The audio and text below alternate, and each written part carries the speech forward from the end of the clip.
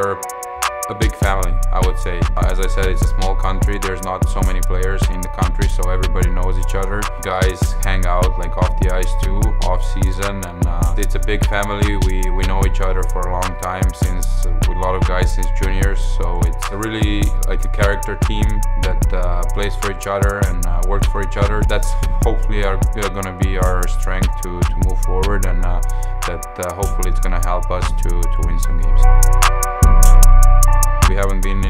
For a while, and um, you know we've uh, we've been working hard to get back up, and uh, last year we finally did. And it's like bigger and better for the popularity of it too. I think, and you know it's uh, it's a small country, so I, I hope a lot of people will be uh, in front of their TVs and people coming here too. There's uh, a lot of games in a short amount of time, so uh, recovery is really important.